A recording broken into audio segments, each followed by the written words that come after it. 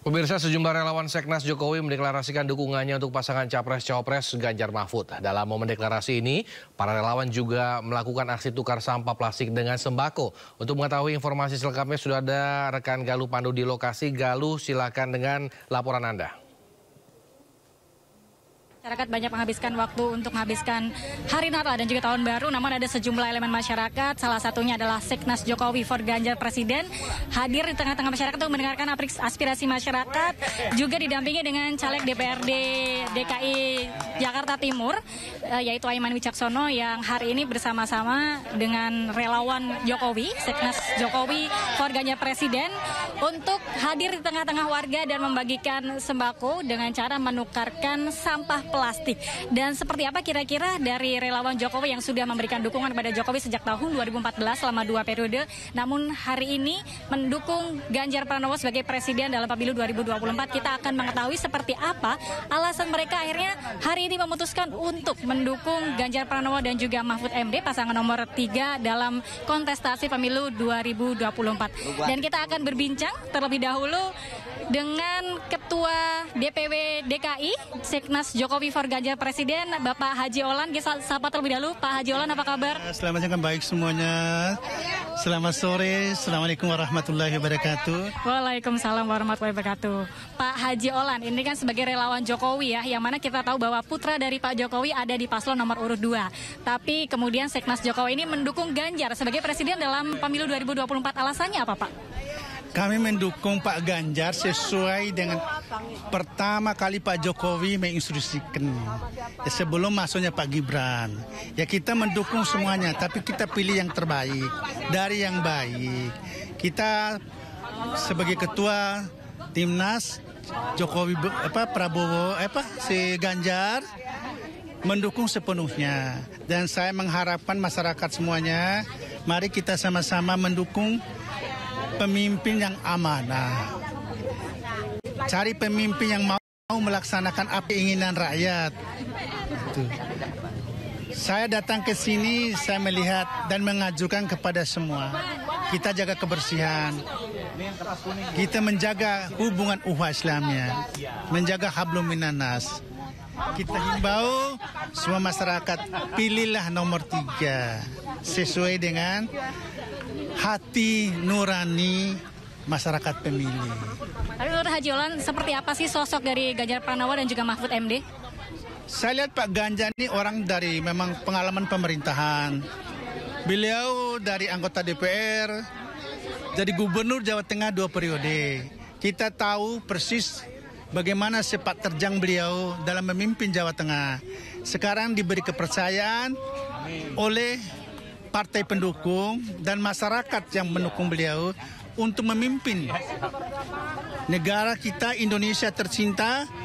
Mudah-mudahan beliau bisa melaksanakan apa keinginan masyarakat itu bukan keinginan segelintir manusia tapi keinginan masyarakat mudah-mudahan apa yang dibutuhkan masyarakat mereka bisa melaksanakan sesuai dengan apa keinginan masyarakat Indonesia.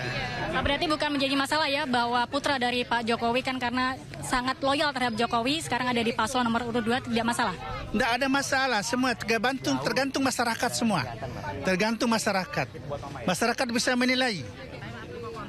Semua calon ini orang baik semua, tapi kita pilih yang terbaik itu harapan saya begitu. Baik, terima kasih Haji Olan, sukses dan sehat selalu. Sukses. Kita akan bergeser pemirsa dengan eh, caleg DP, uh, DPR RI dari Partai Perindo, Dapil Jakarta Timur, Mas Aiman Wicaksono. Apa kabar Mas Aiman? Halo Galuh, ya terima kasih, terima kasih. Sedang ada agenda apa di sini, Mas? Iya, saya mau ambil sebentar ya, sebentar ini. Sebentar. Baik, uh, di sini ada kegiatan penukaran sampah plastik sepertinya ya. Iya. Ini kalau bisa dilihat ya, ini sembako murah ya. Bukan ditebus dengan uang, bukan tapi ditebus dengan mengumpulkan botol-botol plastik bekas seperti ini. Mereka mengumpulkan rata-rata 10 botol plastik untuk ditukar misalnya satu uh, minyak goreng dan ada beberapa juga sembako. Jadi kita bukan nebus dengan uang tapi nebus dengan kepedulian lingkungan. Kenapa? Karena ini bisa mengurangi karbon. Karbon biasanya mereka kalau seandainya mereka uh, ketemu ada yang dibakar Artinya apa? Emisi karbonnya tinggi. Inilah bentuk kepedulian dari uh, Ganjar Mahfud bahwa di lapangan kami berkomitmen terhadap lingkungan. Jadi bukan tebus dengan uang tapi tebus dengan botol plastik ini. Dan ini yang kemudian di uh, kita saksikan sama-sama ya. Jadi sejumlah warga di sini datang berduyun-duyun membawa sampah plastik ini ya untuk ditebus dengan sembako murah. Sebagai bentuk kepedulian kita bersama gitu ya terhadap lingkungan. Nah, kita sudah melakukan ini bukan hanya di sini tapi beberapa tempat. Kemarin saya juga melakukan di Matraman Jakarta Timur. Sekarang saya melakukan ini di Pulau Gadung Jakarta Timur karena dapil saya kebetulan di Jakarta Timur. Oke, mungkin Mas Aiman bisa jelaskan kira-kira aspirasi warga apa yang bisa diserap dan akan diaplikasikan ke depannya. Betul. Kita harus peduli lingkungan. Bukan hanya soal sekedar misalnya istilah carbon capture and storage misalnya, tapi di lapangan dari bawah kita harus sosialisasikan bahwa kita punya kepedulian lingkungan untuk menjaga lingkungan, jangan bakar-bakar karena selain polusi juga kemudian ada racun yang bisa terkandung di dalam plastik ini, tapi diberdayakan. Caranya mereka bisa kumpulkan, dijual bisa atau ditukar sembako murah. Oke, tadi saya sempat dengar uh, komitmen Mas Aiman juga terhadap kesehatan dan juga kesejahteraan warga khususnya di Dapil Jakarta Timur.